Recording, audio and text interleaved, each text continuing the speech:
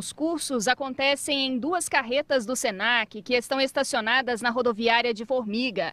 São 10 opções na área de culinária e beleza. Os cursos são bem bacanas, dá para profissionalizar todas as meninas e meninos que estejam participando do curso.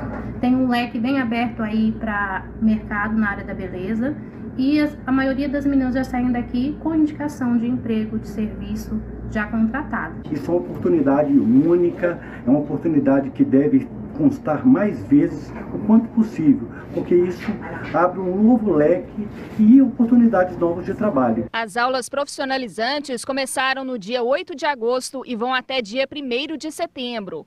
Ao todo, foram 128 vagas disponibilizadas. A importância do curso do SENAC para a minha vida foi muito grande, porque eu sou do lar e a importância de eu aprimorar os meus, meus conhecimentos, abrir mais portas de trabalho, não só para mim, mas para os meus colegas.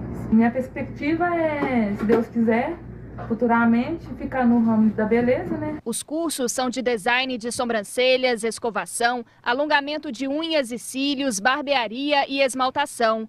Já os cursos para a área de culinária são voltados para o preparo de diversos alimentos, como bolos, pães, salgados e doces. A nossa visão é que eles possam se emancipar dos programas sociais através dos cursos, se profissionalizando para a geração de renda. O projeto do SENAC é realizado em parceria com a Secretaria de Desenvolvimento Humano do município. A administração municipal dando esse apoio para a nossa população. São 128 pessoas que vão poder ter mais dignidade, conseguir uma maior geração de renda.